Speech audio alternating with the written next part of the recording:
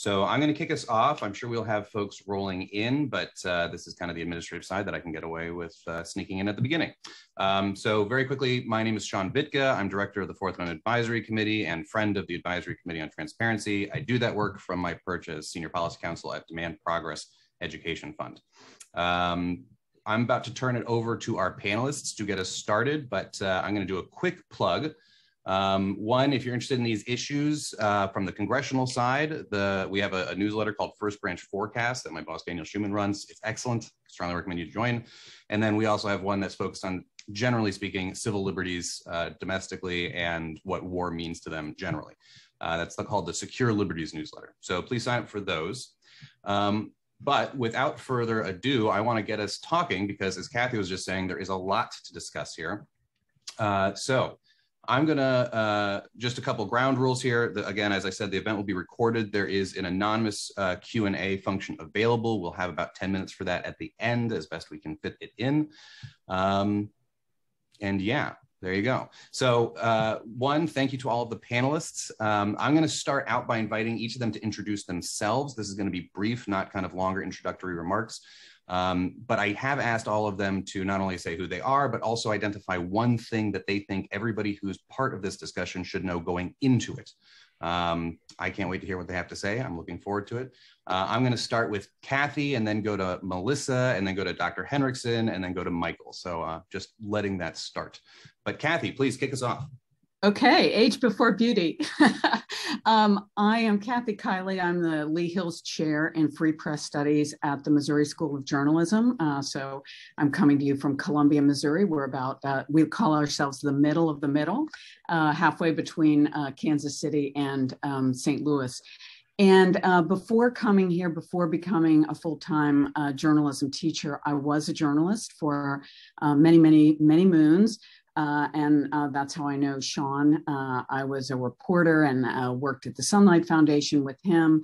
Uh, but I was a reporter for many news organizations. And I would say, in that capacity, most of my journalism career was in Washington, D.C., and I did a lot of coverage of uh, members of Congress and presidents. And the one thing I would want to say about this is that every politician wants to control a message. Uh, the me- they want to control the story about them. Makes the time we're living in so dangerous is that uh, political figures and particularly presidents have the power to control the message in ways that were unimaginable a few decades ago. So I think that's why this uh, discussion is really important. Our country has always been founded on the principle of checks and balances. And so coming up with some checks on the power to control the message, I think is vital for democracy. Thank you so much, Kathy. Uh, Melissa, please. Sure, Sean. Hi, everybody. My name is Melissa Wasser. Um, I'm a policy counsel with the Project on Government Oversight, or POGO. Um, at POGO, I handle a portfolio of uh, issues including whistleblower reform, uh, Freedom of Information Act reform, court access, press freedom, and OLC transparency. Prior to joining POGO, I was a policy analyst for the past two and a half years at the Reporters Committee for Freedom of the Press um, a national nonprofit working to help journalists, and I handled a, a, federal, state, and local portfolio of press freedom and government transparency issues. Um, I think just one thing everybody should know going into this discussion is obviously press freedom is worth protecting no matter who is in the White House, no matter who is in Congress. Um, and this conduct of this mass surveillance of journalists that we've been seeing and surveillance of members of Congress um, is a significant threat to our democratic society and our ideals. Uh, and if we don't codify some of these protections into law, I think our democracy will suffer because of it. Thanks for having me. Thank you very much, Melissa. And, uh, and we're going to turn to Dr. Henrichsen, who I'm actually going to start by congratulating for uh, oh, becoming you. a doctor between the invites going out and this panel. so uh, happy to have you as a, uh, for your first doctorate uh, uh, speaking event, I think. Thank you so much. And it's great to be here with you guys today. Um, I'm Dr. Jennifer Henrichsen. I recently defended my dissertation from the Annenberg School for Communication at the University of Pennsylvania. And I'm also a fellow at Yale's Information Society Project, which is embedded within Yale Law School. And my research focuses on how challenges such as state surveillance or digital attacks against the media are creating an epistemic crisis for journalism, as well as journalism's role in a democratic society. And some of my more specific research that I just completed focuses on how journalistic intransigence to change uh, has implications for journalism's role in a democracy.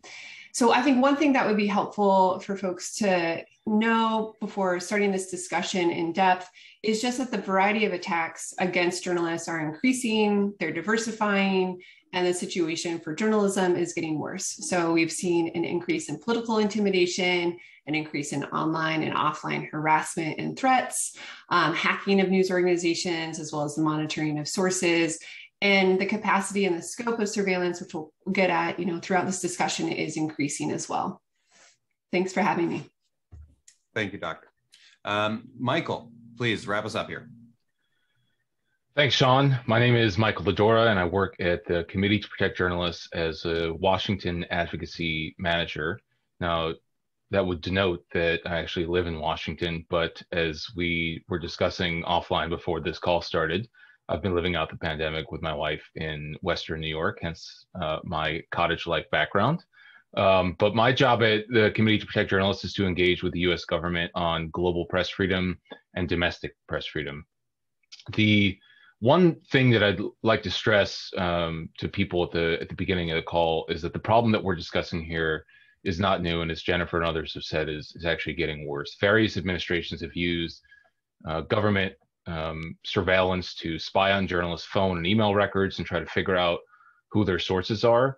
And they've used the Espionage Act to prosecute those sources for leaking information that the government has deemed as a threat these probes have a chilling effect on news gathering because they discourage government officials from speaking to reporters and journalists who are seeking to reveal important information about government activity. And that's a real problem for all of us. It's not just a problem for journalists and sources, but there's a flip side to press freedom. If we protect press freedom, we're naturally protecting the right of people to access information information about what's going on in society, but also information about what's happening inside of the government. So by accepting uh, the landscape that is uh, that we're facing right now, that you know the government will continue to go after journalists and their sources, we're accepting a landscape in which we are encouraging, if not giving cover to, government secrecy. So it's something that I think we all need to be deeply alarmed about because it's not just something that affects journalists and their sources, but it affects what you as a as a newsreader are able to read on news websites and newspapers every day. Thank you very much, Michael. Um, so uh, I'm just going to create a little bit of a framework for, for how this discussion is going to go. Uh, so the panel is keeping the free press free. Uh, obviously, that's what we're talking about. The first third of this is going to be focused as much as we can. It's going to be freewheeling, of course, but uh, we're going to be focused on what the problem is and what it looks like and what its symptoms seem to be. Um, the middle part is going to be more about how it works, uh, kind of the gears that turn to make it happen. And then the last third is going to be the panelists talking about what they think can and should be done about it. Um, so with that said, uh, I'm going to turn over to Melissa, who I think is maybe uh, it was very well poised to tell us how we got here. Why are we having this conversation today? Why is this a, suddenly a news story again? Why is the news in the news? The news is in the news, of course. Well, I have just a quick timeline to kind of get people up to speed. Um, a lot has happened uh, just even in the past few months um, that show why all of these uh, surveillance, this surveillance has been a problem. So back in uh, May and June, it was reported that the Trump uh, Justice Department secret, secretly obtained records uh, for phone records for three reporters at the Washington Post over prior reporting they had done about Russia's role in the 2016 election. There were also reports that uh, that same Trump Justice Department got phone and email records of CNN journalist Barbara Starr back in June 2017. Uh, they also seized uh, phone records of four New York Times reporters spanning nearly four months in 2017. And again, it's 2021 and we're just finding out about this. Um, and we also found out that uh, not just journalists were being um, kind of almost spied upon, but DOJ prosecutors under the Trump Justice Department also subpoenaed Apple uh, for the records of at least a dozen people um, surrounding House Intelligence Chair Adam Schiff, uh, Representative Eric Swalwell, aides, and their family members. And this includes also a minor. Um, and normally, before going after a journalist's sources, there is supposed to be some sort of notification requirement to the news organization that this is happening. However, uh, those uh, incidents had gag orders with them. So uh, Apple could not let people know that their information was being obtained.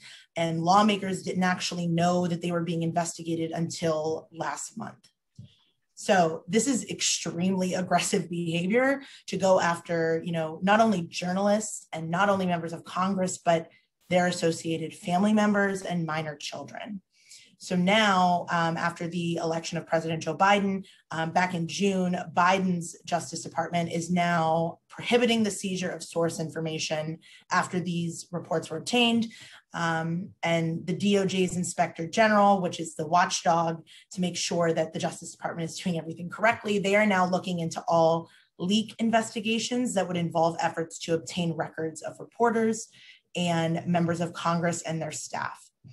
Uh, again, this panel is super timely because just this week on Monday, in fact, Attorney General Merrick Garland issued a memo that uh, limits the government's ability to secretly obtain communications from journalists. Uh, federal investigators are now prohibited from obtaining these records, including phone records and electronic communications. Um, they also cannot compel testimony about these records um, unless they would somehow fall outside of news gathering activities uh, if the journalist is a target of a criminal investigation, if the journalist was determined to be an agent or a foreign power, uh, of a foreign power, excuse me, or a member of a foreign terrorist organization, um, or when obtaining that material would prevent death or serious bodily harm. Um, I just want to take a second to, to let everybody know this is a momentous step forward um, to, pr- to protect press freedom but we shouldn't get too complacent with that because it is a memo and it is just a policy. This is a policy, not a law. And so until these protections are embodied in the law, a future, you know, Republican or Democratic administration uh, could rescind this down the line. And so we need to focus on taking these steps, you know, enjoying these gains and protections for journalists, but we need to make sure that they're codified moving forward so they can stay permanent. Thank you, Melissa. I want to invite uh, Michael as well to uh, talk about, well, you mentioned it before, this is not a new problem. So tell us about that. Yeah, so CPJ has been tracking this problem uh, for years and released a report on both the Obama and Trump administrations in our uh, and the use of uh, the Espionage Act and, and surveillance of journalists. Um, we had found in our Obama report that all previous US administrations had used the Espionage Act to accuse individuals of leaking classified information three times. And that under the Obama administration, I think we counted at least eight or nine different cases of the administration using the Espionage Act. So this is something that the, the Obama administration uh, carried forth into the Trump administration, unfortunately. And as, as Melissa said, there's a lot going on right now because we're finding out what the Trump administration was doing. But even even the stories that we're hearing about right now um, are not necessarily from the last four years. Consider the case, you know, for example, of Daniel Hale, who just in May was arrested and jailed ahead of his sentencing. Daniel Hale was an Air Force intelligence analyst who leaked classified documents to journalists that were reportedly used in an eight part series by The Intercept. And the documents that he leaked raised questions about the accuracy of drone strikes and targeting procedures by the Obama administration. Now, he's pled guilty under the Espionage Act and faces up to 10 years in prison. So, this is a case that stretches way beyond the Trump administration, but is still ongoing right now. Now, the thing that I find really interesting about the Daniel Hale case, and this is not unique to the Daniel Hale case, is that um, after the series ran by The Intercept, the Obama administration had to publicly commit to further transparency under the drone program, including releasing estimates of uh, non combatants who were killed in war zones like Afghanistan. Even though they were charging Daniel Hale for releasing those documents, they were admitting in public that he had a point. And there's often this sort of hypocrisy in these cases where the government knows the information is damning and they may have to publicly address it to save face, but at the same time, they will still make a show of prosecuting the leaker. So again, just to reiterate, this is not this is not a problem that we're we're looking at and saying, well, this is something that the Trump administration was engaged in is really problematic. It's something that various administrations, going back to even the Bush administration, were engaged in, and the the record is really disturbing. Thank you. So, Kathy, um, uh, I'm really happy we have well, I'm happy we have everybody on the panel, but uh, Kathy is a veteran journalist, and so I'm honored that we get to have her expertise here. I wanted to turn to you. Um, you know, tell us what this feels like, looks like, does to journalists. Um, I think you're best qualified to, to tell anybody. Yeah, well, I think the most important thing here is not so much what it does to journalists. Uh, I think that it, it affects us through our sources. And I think uh, that's really who's in danger right now. Um, we obviously are only as good as our sources, so it affects journalists, but but more in an indirect way, I would say.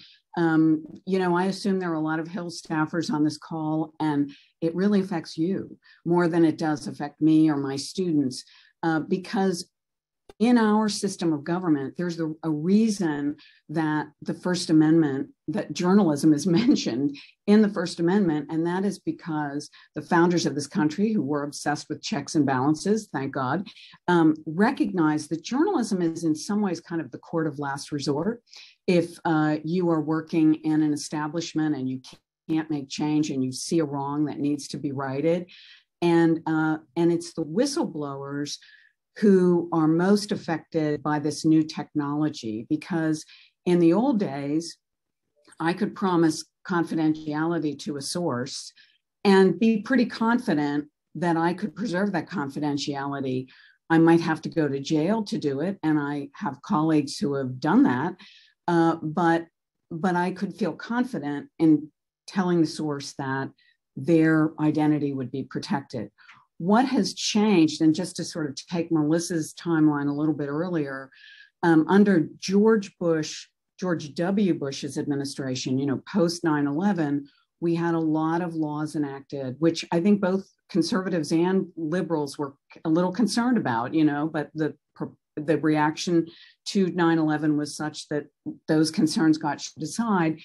Uh, but that enables the government, our government, to go in and get information without a warrant. And that kind of opened the floodgates. And that uh, that enabled now we what we're now hearing about, which is people using this excuse of, oh, we're trying to protect government information to go in and get information, get phone records, get email records without the reporter or the reporter's news organization knowing that this is happening.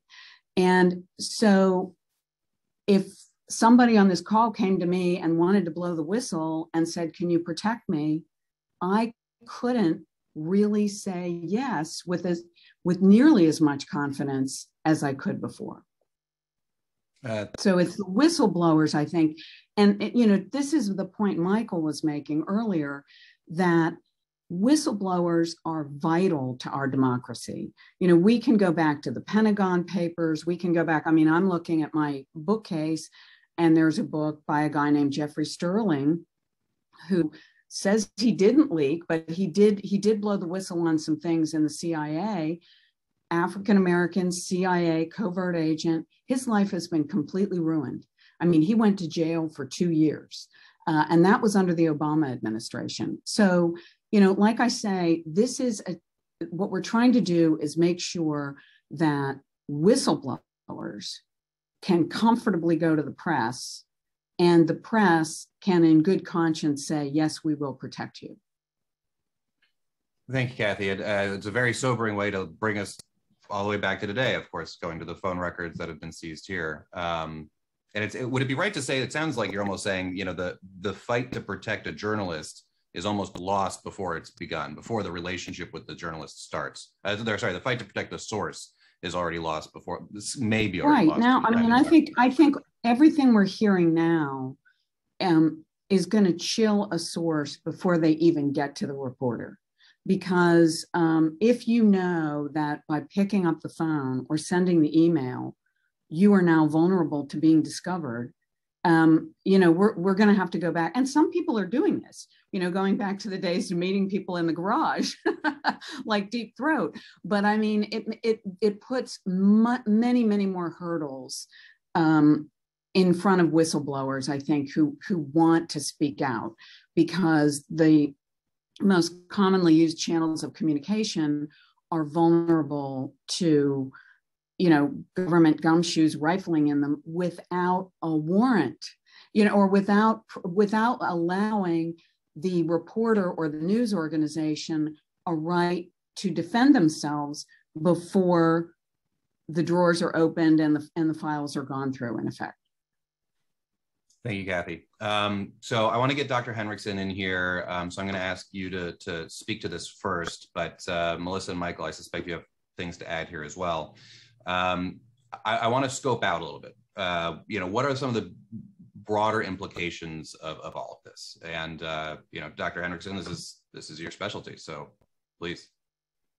Sure, thank you. So I want to just um, echo that I agree with everything that Kathy was just talking about, how important this issue is for journalistic sources and whistleblowers in particular.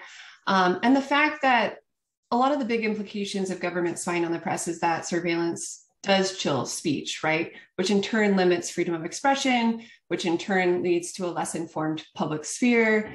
And the public is so critical in order to ensure that we have a democracy.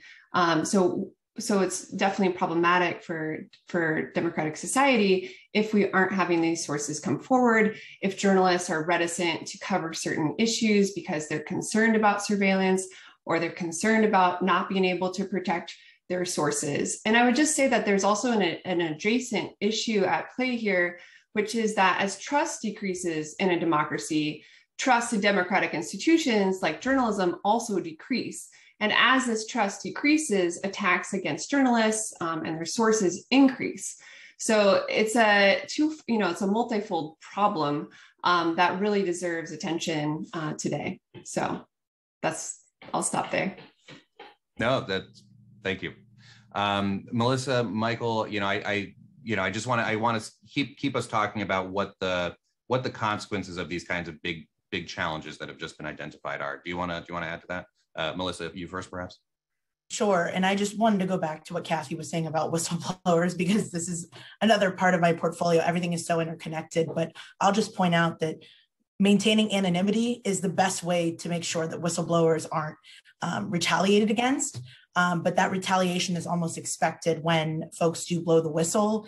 And right now, whistleblower protections haven't kept pace, and there's no explicit right to anonymity. So there are, you know, bills in Congress trying to work to kind of fix that up. But, um, you know, whistleblowers are that first line of defense. Absolutely.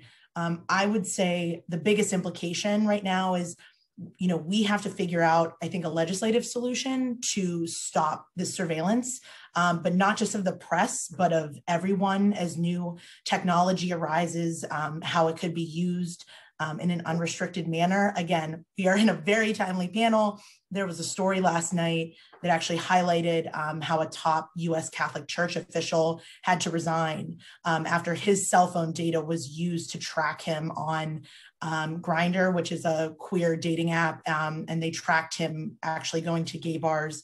And this uh, involved, involved his phone data being uh, de- uh, anonymized. And so it was reported on publicly. Now, this data, that's not inherently illegal, right? But if it could be used against a member of the press, it could be used against anybody in the public sphere. Um, and this is going to happen more and more when it comes to doxing, when it comes to outing, um, especially as people come to understand what data is available. And right now, there could be unrestricted personal use of this data that have severe ramifications for the privacy and safety of um, private citizens, including journalists. So, you know, just as another example, it's not just going after journalists, it's going after the people who are reading these really important stories. It was reported that the FBI demanded information from Gannett and USA Today that they wanted to identify not the journalists who wrote the article, but the readers of a USA Today article uh, that dealt with a shooting in Florida back in February. Uh, two FBI agents tragically lost their life, and there were three others wounded. Um, the DOJ never told USA Today or Gannett um, that they took these steps. They later withdrew the subpoena, but again, they're going after the readers, people who are, you know, subscribing to journalism, you know, reading journalism. They're trying to get information and get this access to information. Um, so the implication there is we need legislative fixes to fix the loopholes. Um, right now, there is no federal law in the United States that restricts the collection um, or use of location data. So right now there's a bill, and I'm happy to go into it later, called the Fourth Amendment is Not for Sale Act, um, introduced by Senators Ron Wyden and Rand Paul, that would close that legal loophole that allows data brokers to sell information, um, Americans' personal information to law enforcement, intelligence agencies, or a third party. So until that's passed, I think surveillance is going to greatly expand of journalists and the general public um, that could cause greater issues. Uh, thank you, Melissa. And actually, I, uh, you just remind me that there's this uh, article. It's a ProPublica article from from uh, a while ago that that's always stuck in my head. Where it's to remember when the Patriot Act was about library records. Uh, and if you ever if you ever want to see a, a, kind of broad trajectory of the warrantless surveillance debate, uh, oh boy, is it an interesting reminder. Um, Michael, did you want to add anything here? Yeah, two two quick points about this really interesting discussion. Um, one is about the impact that this has had on journalists, and I know that Jennifer can speak to this uh, perhaps in more depth. But essentially, the world in which we're living in now has forced journalists to think like spies. And one of the problems with this is that journalists are competing with spies, and the spies have what you might consider to be home field advantage. I mean, they are the experts. So the only way that journalists can protect the identity of their sources is through the application of of expertise and practice and and sometimes really expensive tools and so news organizations that did not previously have to spend resources on this are now having to hire security individuals and buy security tools and all of that could be spent on research and writing and it's really no different at the committee to protect journalists i mean as an organization that is defending journalists we've also had to think critically over the last couple of years about how we can protect ourselves and the sources that we're talking to to track uh, press freedom around the world. So that's one thing I wanted to, to, to spotlight, and I know that we'll talk more about it. The second thing is the impact around the world. I mean, the U.S. is perceived as a world leader on press freedom, and even if it isn't perceived as one, it acts like one. So any violations within the United States undermine its ability to act as a leader. Um, it allows governments to hammer the U.S. government in international forums like the United Nations, uh, when the US is trying to raise criticisms about their press freedom violations, you have countries like China and Saudi Arabia saying, well, you know, look what's going on in your own backyard. Your government is spying on journalists. And so those governments then use it not just to hammer the United States in international forums, but also to justify their own behaviors. Well, if the US is doing it, why can't we do it too? And I think just to give one example of how what happens in the United States reverberates around the world, is just to look at the numbers of imprisoned journalists uh, imprisoned on false news charges. You, you had four years of an administration with a president who consistently accused the news media and journalists of publishing fake news and of being fake news. And the number of journalists imprisoned for fake news consistently rose throughout the Trump administration. We actually also at CPJ have found cases of foreign leaders specifically citing President Trump in their own attacks against the press. You know, Trump has said that you know CNN is fake news. So why should I have to give any leverage to the to the news reports that they're putting out there? And so it's really important to keep this in mind that we're talking about a domestic issue here in the United States that requires a domestic fix, but the rest of the world is watching. Thank you. Um, Dr. Henry. If I could just interject, I think that's a great point, and I think that's absolutely 100% true. Um, I think that the behavior uh, over the last couple of years towards the press in the United States has effectively greenlit much more thuggish behavior by uh, dictators and strongmen all over the world. We are we are definitely what we do in this country has reverberates around the world and has landed some journalists in jail and in great great danger. Thank you both. Um, Dr. Henrichsen, I, I want to turn to you. The, you know, one of your focuses is on, well, your maybe the focus is surveillance of journalists. And I, I want to, I want to get a better sense of what you're seeing because I, I, suspect you're on the cutting edge of some of this. You may know things that, uh, you know, we're going to find out or read about in, in months or years. So, so what are you seeing? What is your uh, research pointing to? Sure. So um, I'm seeing that a variety of threats and attacks are happening against journalists. Um, and my research focuses more specifically on journalists in the US, but there's obviously a global dimension to this as well. Um, it's interesting, actually. I'm just thinking of like the US Press Freedom Tracker, which tracks different types of concerns facing journalists. That was developed in 2017 to focus more on domestic issues, to focus on journalists in the US. And prior to that, like CPJ had focused more internationally on journalists. So we're really seeing sort of a turn in that we're looking more inward about the different types of concerns and threats facing journalists to carry out their work. And those threats are, are things that I talked about a little bit at the beginning. So we have, you know, concerns about surveillance, political intimidation, which we just touched upon, online harassment, um, as well as uh, offline harassment, the hacking of different news organizations, and the monitoring and investigation of sources. And these conditions really do affect what journalists are willing to report on, what information sources are willing to provide, or whether they even want to come forward. Um, with specifically with regard to online harassment, we're finding that journalists are removing themselves from different social media platforms like Twitter, for example, and engaging in self censorship. And this might sound small, perhaps, that they're removing themselves from Twitter, but it has implications, right? One is self censorship, which is huge. But two, I mean, they have limited digital publicity, which in turn affects their ability to communicate with sources, to publish their information um, more widely, to develop this network that they're required to do, uh, you know, in today's society. Um, in turn, that also limits what information is available to the public. So it weakens this notion of an informed public sphere, which is critical for a democratic society. Um, we also know that news organizations are dealing with different hacking attempts.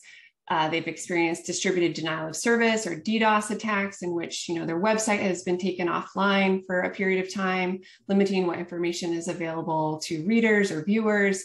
Um, some news organizations are experiencing ransomware attacks uh, that happened pretty recently um, with an outlet in San Francisco, and that has you know obvious obvious financial uh, implications, but also it attacks sort of the credibility of the news organization and the ability of the news organization to continue its democratic role of providing information for the public. Some well resourced organizations, like the New York Times in particular, um, is developing uh, and expanding its information security team. So it now has analysts and it has information security trainers, and it's focusing on trying to ensure that journalists in the newsroom know about these different types of threats and, and have specific ways to protect themselves and their sources and their communications by adopting specific encryption technologies, for example, um, or engaging in sources after developing a risk assessment for example, to understand you know, how their information could be accessed and used and the potential implications and repercussions of that occurring. Something else that I found in my research is that you know, most news organizations are not as well resourced as the New York Times. And instead, there's this grassroots effort that's occurring across newsrooms in the US where individuals who really care about security for various reasons. Maybe they worked on the Snowden revelations, or maybe they've just realized that you know cybersecurity is an increasing issue afflicting most of us uh, globally now. But there are these particular security champions which are emerging in newsrooms, and they take it upon themselves to basically find out more information about information security and then try to level the newsroom security culture up to be able to better address these types of, of concerns. Obviously, an individual approach is not a scalable approach, um, which points to the need, you know, for different forms of legislation and policies and things like that. But it's interesting that specific individuals within news organizations are taking it upon themselves to address this deteriorating situation. Yeah, well, and it sounds like that. I mean, that sounds reflective of how seriously these entities are taking it, right? I mean, it's uh, mm-hmm. uh, you know, I hope it's not too late at, on one side, but uh, you know, the Times dedicating a huge pool of people to uh, this project points to the severity of the issue, um, scalable or not. Um, so, so, doctor, is it fair to say, you know, the we have talked about a variety of different, I guess, pressures on journalists and their sources. So it's just uh, mm-hmm. to some extent you're pointing out that this is really beyond even where the conversation is today so far. Mm-hmm. Is that fair to say? Yes, um, I would say that. Yeah, that's fair to say. Mm-hmm.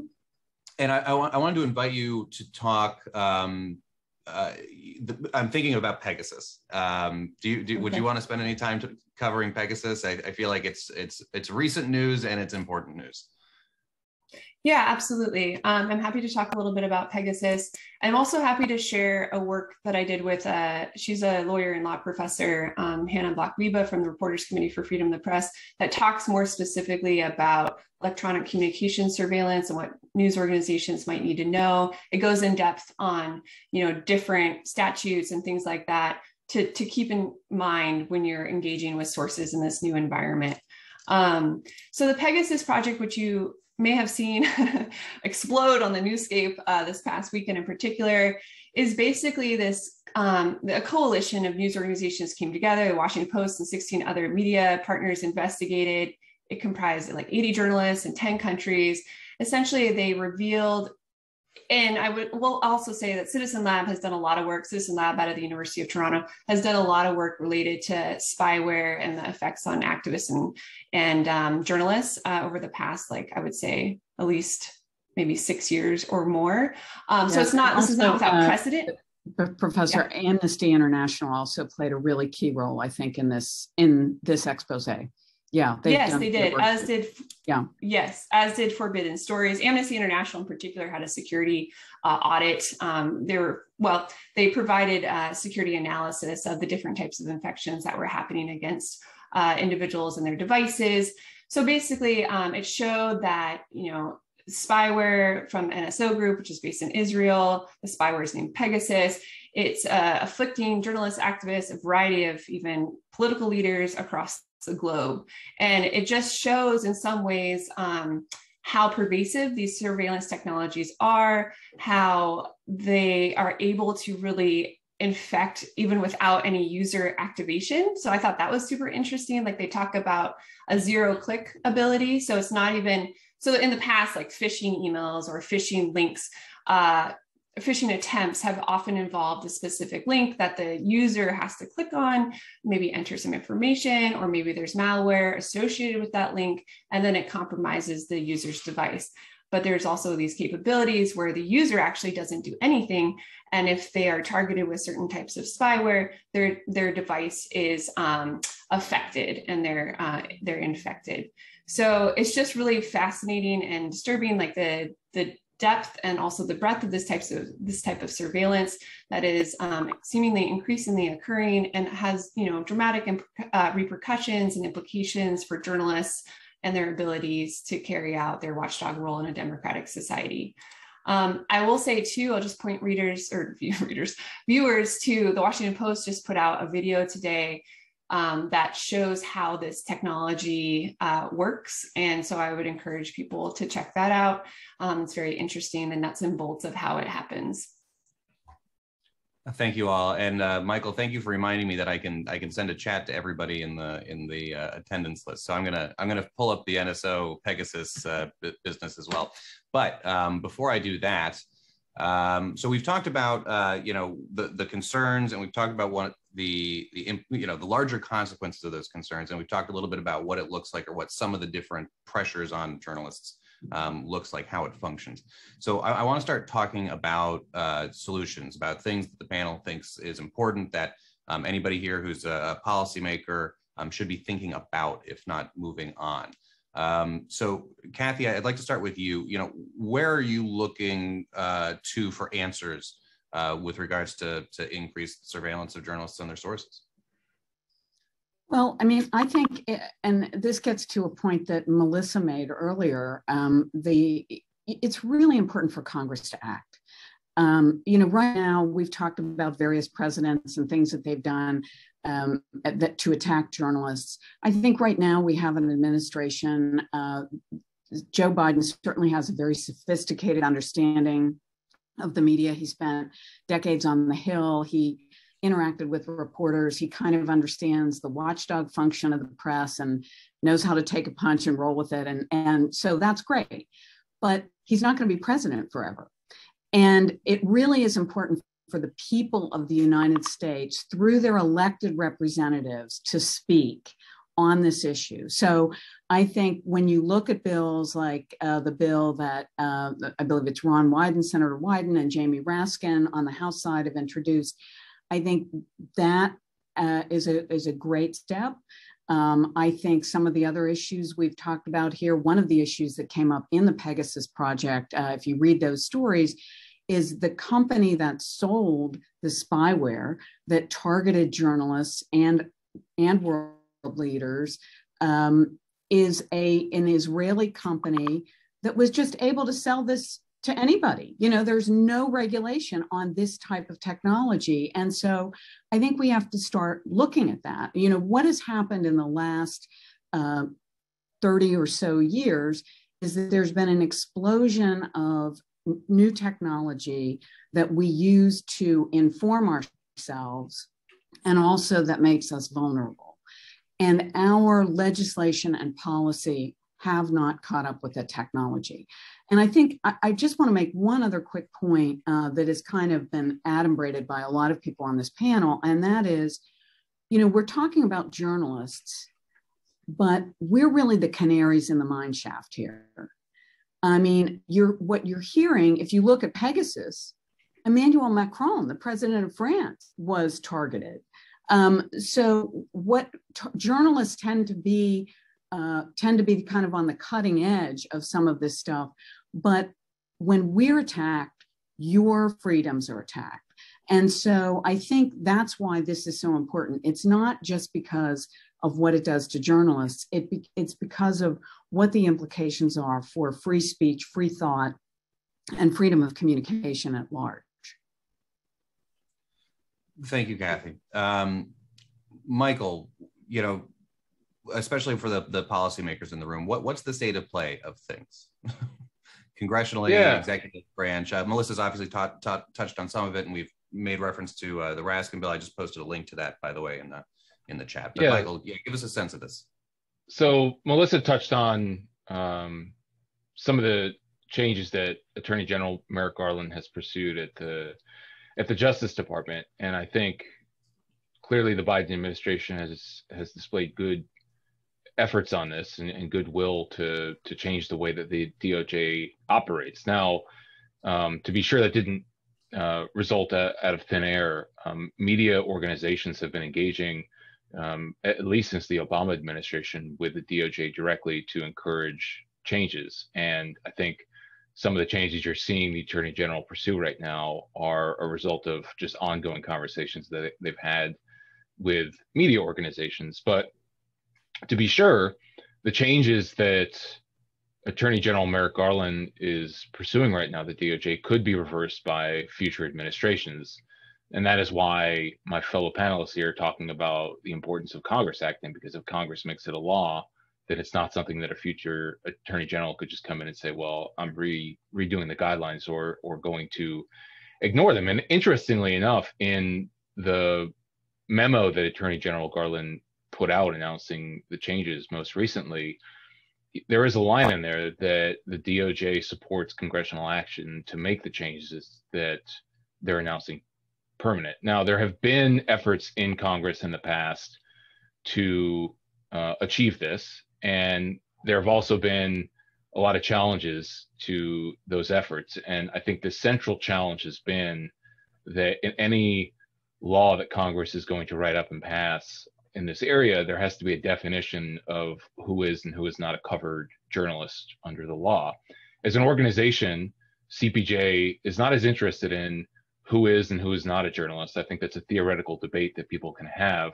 We're more interested in protecting the act of journalism, and that may include people who are new journalists or who are not considered by many people to be journalists, but they're engaging in acts of journalism which are protected First Amendment rights. Um, so we have been working with congressional offices on a, a, number of different measures in Congress. And yeah, there's a bill now out by Senator Ron Wyden and Representative Raskin. And the definition that they use in their bill is, I think, the most expansive that we've seen so far in any bill in Congress. It, it uh, states that a covered journalist is any person who gathers, prepares, collects photographs, records, writes, edits, uh, publishes news or information concerning local, national, and international events. Um, and so I think this is a, a, a, real step forward. I think that you also may see now Congress look to take some of what is coming out of the DOJ and simply trying to codify that into a law. So it'll be interesting to see how Congress reacts, whether uh, members of Congress see the Raskin Wyden bill as a vehicle, which I think is it is a very good one, or if they want to draw something up that's based on what Garland has put out. Now, just very quickly on the international side, because that is trying to fix the issue that we're seeing with the DOJ, but we're also dealing with this issue about Pegasus and spyware. And there have been some congressional efforts on, on this front too. There's a uh, a measure by Representative John Curtis that would mandate that the State Department in their human rights reports every year include information about the use of surveillance technology against all individuals, including journalists. And I think that's a really important step forward because it provides a certain amount of transparency for uh, for the public about you know how frequent the how frequent governments and, and other actors are using these spyware technologies. Um, but Representative Tom Malinowski has also been really active on this and has proposed a number of measures that would limit the ability of the State Department and the U.S. government to work, uh, you know, with, with, companies that are producing technologies that can be used uh, to, to spy on journalists. As an organization, we have been calling on governments to bar the use of spyware against journalists and media outlets and to bar the export uh, or transfer of surveillance technology to governments that have poor press freedom records. So there's a lot more that needs to be done here. And I think Kathy made an excellent point, which is that the technology has outpaced, uh, you know, the law. That we're in a position now where we're we're behind, um, as, as, you know, in terms of the U.S. government um, and, and, even the global framework. There are not many global frameworks that govern this as, either. So we're behind, and a lot of people are trying to talk through what the solution is. And, and I think that that's a really important con- conversation. Congress is in a position where maybe they should be holding hearings about this to talk with uh, you know experts in the field to figure out how should we be changing U.S. law to respond to this. Yeah, if I could just jump on what you said, Michael, I think one of the reasons uh, it's a couple of things. One, we have precedent for export licenses on military technology, we sure, certainly should be doing something similar with surveillance technology. And we should know what countries are getting ex- getting that technology. There should be transparency. That should be part of a, a regular report. Um, but the, the second thing I want to say, and I want to go back to why it's important for Congress to act. We're getting back to the global example we set. Congress speaks for the American people. There is a reason the quadrants of Washington emanate from Capitol Hill and not the White House. Congress speaks for the American people. Congress has to pass a law, not just to ensure that these are permanent eh, changes, but also to send a signal to all the tin pot dictators and strongmen around the world that this is what America stands for. We don't stand for surveillance. We stand for free speech. And that, that is eh, as, as important as making something permanent, it's the sending the global signal, I think, that will make a big difference for journalists who are in much more perilous situations than, thank God, many of us are. Thank you very much, Kathy. Um, so real quick, uh, I see, thankfully, we've got a, a, question or two coming in as well. So it's a good chance to remind you that we will try to turn that as quickly as possible. Um, we've got a couple more minutes with the panel before we, we do a wrap up um, and I will get to those questions as quickly as I can. Um, Melissa, I want to turn to you to, to basically answer the same question though. What, what is Pogo's take on what's next? Absolutely. So um, I, would agree with all the previous statements from both Michael and Kathy. Um, you know, first off, on the surveillance of Congress and of journalists, Pogo recently sent a letter condemning that surveillance um, on behalf of 23 civil society organizations, um, which I am putting in the chat now for folks to take a look at on our website. Um, we sent that to Attorney General Garland, uh, along with the chairs and ranking members of the House and Senate Judiciary Committee, um, and and you know let them know that there's wholly a lack of transparency by the DOJ around this. And this prevents public accountability. And Congress needs to be able to use their oversight to hold hearings and figure out why this has happened. Um, to make sure that the DOJ can immediately release all relevant court filings or other records regarding the surveillance. Um, and those hearings should be, you know, called to see why the surveillance took place. Um, I will mention that POGO does have our congressional oversight initiative where uh, staff members uh, in Congress can sign up for trainings on how to hold hearings, how to maximize um, their congressional oversight power as well. Um, I will also mention, without getting into too many details because it is not out yet, but POGO will have a forthcoming investigation that will reveal the extent of the crackdown under President Trump to go after journalistic sources. Um, that should be forthcoming soon by some of my colleagues and our investigators on our team. And back to, I know there's a question here about the Press Act. And, you know, again, the having a federal shield law would be the best way to ensure that journalists get that privilege to not have to reveal their sources. I'll mention that 49 states in the District of Columbia, so everywhere except Wyoming, uh, either have a state law um, or a recognized privilege that journalists do not need to turn over their sources. But until that protection exists at the federal level, um, and for the reasons Michael has mentioned, the definition of journalist, this is a very, very broad definition. I would also point folks in the direction uh, in the FOIA context. Um, under the Freedom of Information Act, you can uh, meet a requester status as a member or representative of the news media um, that again focuses on news gathering not so much who is a journalist, um, which seems to be the age old question that kills every single one of these bills. It's we should be focused on the aspects of news gathering you know taking you know those editorial skills turning the raw materials into a distinct work and distributing that work out under some of these definitions if you look at um, the uh, young woman darnella frazier who actually filmed the killing of george floyd by police she is not who's someone who we would consider a journalist in the traditional sense but her act of taking out that cell phone camera and having that First Amendment protected activity to record the police is journalism. I mean, that those acts of what she's doing are, are acts of news gathering. And so we should be able to protect folks that are doing that work.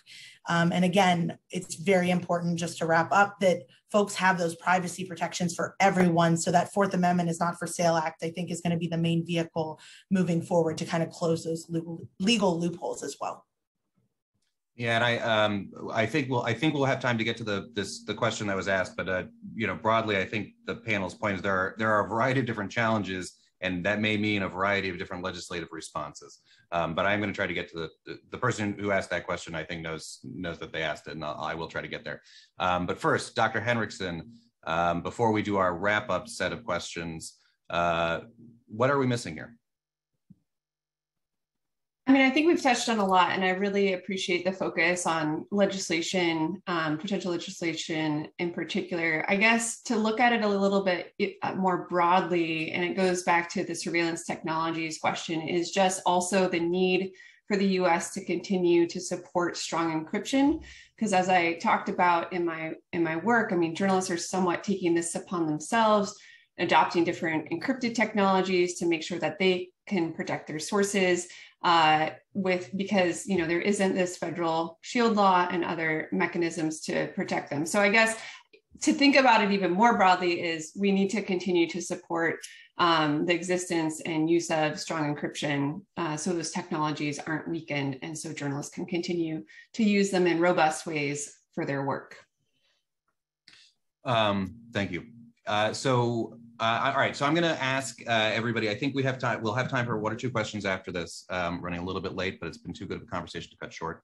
Um, I do want to turn to all of the panelists, though, and invite them um, to identify one thing they hope everyone takes away from this conversation. Uh, so I'm going to start with Michael and then Melissa and then Kathy and then Dr. Henderson. Sure. Well, it's difficult when talking about a time at which the press is under attack, um, unfortunately, like never before, to come up with with one takeaway. I mean, we've had this conversation for 55 minutes, and I think we could have had it for hours. Um, there are topics within these conversations that we've had that you could focus on uh, specific events on. But what I'd like to to focus on, given my my role at, at the Committee to Protect Journalists, is is to underline the global impact of everything that we're talking about. Given the historical commitments of the U.S. government to freedom of the press, uh, the U.S. government needs to take strong action in response to what we're seeing, and and the panelists have really underscored this as well. I think the DOJ changes that Attorney General Garland are is pursuing are really welcome, but Congress needs to follow suit by holding them accountable to their own guidelines to ensure the protection of constitutional rights, and to consider legislation to ensure that future departments of justice do not abuse their authority. And secondly, on the on the global front, that given the Pegasus leak that uh, was out this week and the ever increasing reporting about the use of spyware and surveillance technologies against journalists, Congress needs to get out ahead of this because um, it's behind right now and hold some hearings with experts to figure out what is the U.S. law about this issue. Is it working? And if it's not working, and and, and clearly it's not, um, what needs to be done? Thank you, um, Melissa. Yeah, so I mean, we've we've covered a lot, um, and I think the one thing I hope everyone really takes away from this is, you know, surveillance of journalists and Americans is not new, um, but how I, I really want to, you know, underscore how important um, and how serious of a threat this is to press freedom in the United States. Um, my background, I covered a lot of domestic, um, you know, press freedom issues, and so I, will stick on the domestic side and let others talk about um, internationally. But um, you know, to have a fair and free press, journalists need to be able to do their jobs. Um, and protect their sources. Uh, these are sometimes I think we think of them as like journalistic problems. These are democracy problems. We are seeing uh, problems within our democracy that are requiring legislative solutions. Um, and so that includes to make sure the free press continues to thrive, um, that we get uh, whistleblowers better protected from retaliation, uh, that sources can continue to come forward without fear.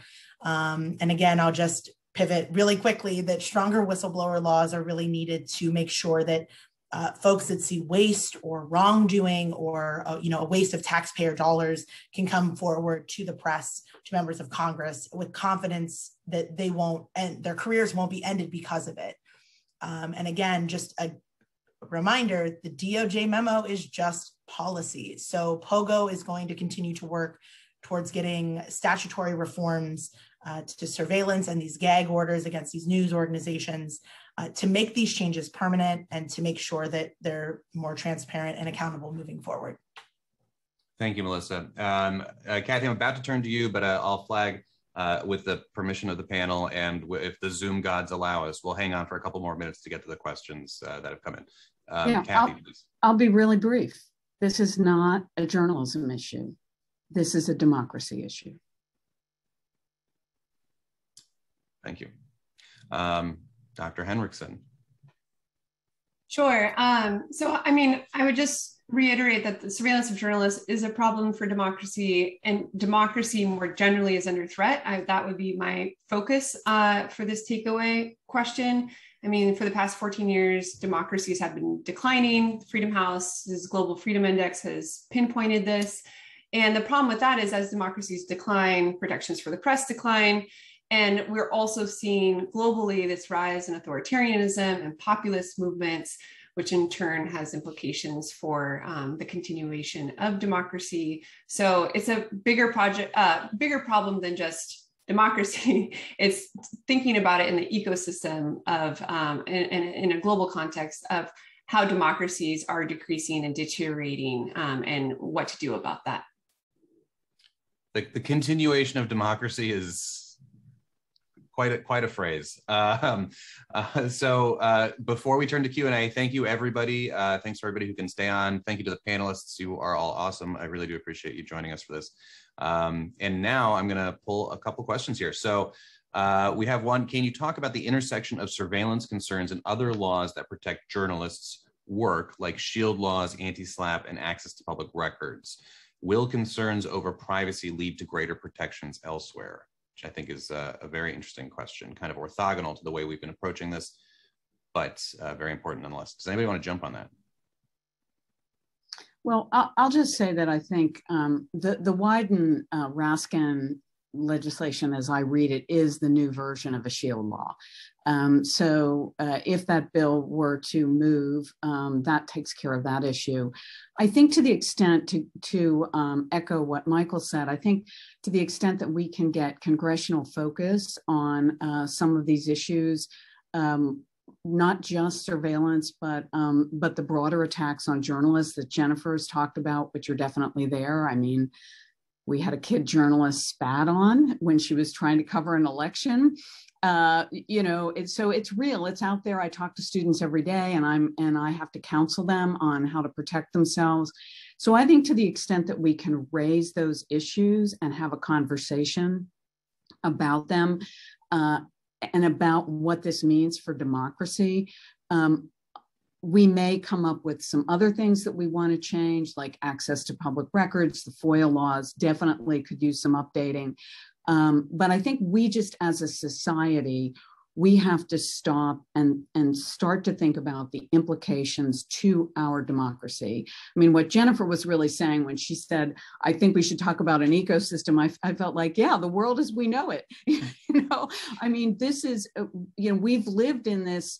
Uh, since really the fall of the Berlin Wall, there was this um, assumption that the triumph of democracy was uh, to be taken for granted. And we've certainly discovered that's not the case. So, what are we going to do about it? Thank you. Um, if anybody else wants to jump in on this, uh, please do so now. Otherwise, I'll move to the next question.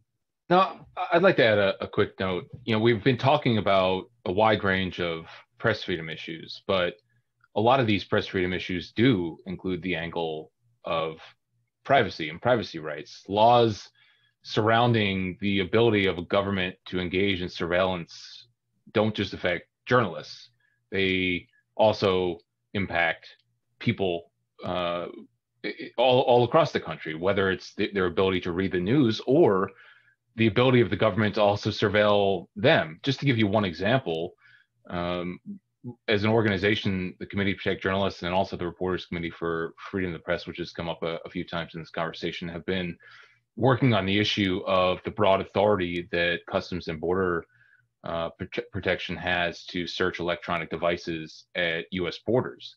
And we're calling it out as a press freedom issue, but it's a privacy issue too. Are people comfortable with the US government having broad authority to search their smartphones upon entering the United States? So, this is something that, as an organization, we've been trying to make the case, both to policymakers and to people across the United States that just because we're calling it out as a press freedom issue doesn't mean that it doesn't also impact your privacy rights as well. Thank you. Um, all right, so moving to the next question. Uh, does the Press Act, the, the Raskin-Wyden bill, uh, the shield, new shield law, I think is how Kathy described it, um, does the Press Act effectively codify the DOJ's new policy or are there loopholes? Seems uh, like there are a lot of exceptions uh, and discretion persists in the memo? And concretely, does the DOJ support the Press Act? I, I can try and speak to that, the last point, but um, I know in the DOJ memo there were lines about um, that they support legislation, but I don't believe they have specifically endorsed um, the Press Act. And again, you know, I think this this federal shield law by Raskin and Wyden, it, it's a great start. I think these conversations need to be had, and there should be a federal shield law. Um, but I think it's going to face the same uphill battle that it has in the past, especially if um, folks start getting into again we're talking about privacy and surveillance um, something that failed. I think it was the 2013 version of the shield law was uh, a very broad national security exemption um, that just kind of blew a hole into the bill and and really ruined the way that reporters could try to protect their sources under the you know under the guise of well it's for national security. Um, and again i think this press act is really really important um, and make sure that journalists are protected against governmental overreach, any abuse of subpoena power, um, and to make sure that they can continue to do their jobs and hold the government accountable as the fourth estate. Thank you. Michael? Yeah, I, well, I, I think um, Melissa's definitely correct that the, the DOJ has not specifically endorsed the, the Press Act. The Press Act was introduced uh, before the new DOJ guidelines were out. And given um, all of the press freedom fires around the world, I've not had a chance yet to review the Wyden uh, legislation against or you know compare it to the new DOJ guidelines. And I think that's something that press freedom experts and certainly Wyden and Raskin's office uh, office staff will will have to do to make sure that it, it is encompassing of everything that you know the the DOJ has been out front on. Um, thank you both. Um, I I have one last question here, and I'm gonna invite Dr. Henrichsen to answer it first, and then I think we'll be closing out. So, one, anybody who stayed over five minutes, thank you. Everybody who's been here for the full hour, thank you very much. Um, and uh, we will wrap it up after this. So, uh, Dr. Henrichsen and anybody else who wants to jump in, what what is we, we talked a lot about this is getting worse. I think I think two to four of you said this is getting worse, and um, I think that's a really important message. Um, what does it getting worse look like to you? In other words, if there is no action, if there is no correction on these on this trajectory, um, what are you uh, afraid is going to happen next? What a positive question. All right. Yes, I mean, I think it's a very important question. To me, what I would be the most concerned about is the how journalists and sources are not able to um, hold government leaders and powerful actors accountable because they might be concerned about um, you know being surveilled they might be concerned about being outed and then have to face jail time and things like that so to me it's a bigger question of um, the importance of being able to for journalists to do their jobs and for sources to come forward when they see abuses. And that in turn has implications like i said in the beginning about what is the health of our democracy? Like we need we need journalists to be able to communicate important information to the public so the public sphere is informed and can also then um, make informed decisions which in turn you know make sure that our government reflects the interests of the people so to me it's it's a bigger question of the repercussions of potential self-censorship, freedom of expression, and a deterioration potentially of the public sphere and, and by consequence, uh, democracy. Thank you. And I'll invite anybody else who wants to chime in since this is our last question. Um, I'll just say that, you know, one of the things that, um, to the extent that um, America is exceptional, in some ways we are, in some ways we're not, uh, but we've been really um, uh, fortunate and to not and to be free of a lot of corruption that you see in some of the other countries. One of the reasons we are is because we have a robust watchdogging press. And one of the things that powers that watchdogging is whistleblowers and sources. And uh, if you chill the sources and the journalism cannot expose wrongdoing, our society will deteriorate. That's the worst outcome. But one of the other things that um, powers journalism is readership. So subscribe to your local newspapers. Yes, amen. All right. Unless anybody has anything else to add, I think that means we are at the end of the discussion. Thank you all so much. Again, I know I've said it before, but I can't say it enough. Um, congratulations again, Dr. Henrichsen, on your doctorate. Um, and thank you all to the panelists uh, and the attendees who, who joined us for this conversation. Um, we will uh, circulate. Thanks for listening. Uh, yeah, and we'll circulate some information, um, try to collect this, and uh, there will be a recording online if you know anybody else who's interested in watching. So thank you all again. Take care and good luck. Thank you. Bye all. Thanks. Thank you. Thanks Bye. to the organizers.